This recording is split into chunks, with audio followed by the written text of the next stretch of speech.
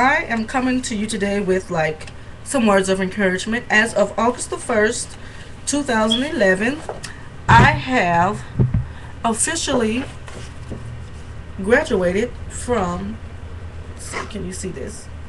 Arthur's Beauty College uh, of Cosmetology. So, yeah, and what I want to say is that if you have a goal, if you have dreams, follow them through. Never give up. Just keep pushing. Although times will get hard, you will have trials and difficulties, just keep going. Never ever give up. And this is like to better me on some things that I want to do in life. So I write down my goals from the smallest to the largest, and then I complete them like that. So my message to you is to just follow your goals, follow your dreams, and you will succeed. You have a blessed day. Bye.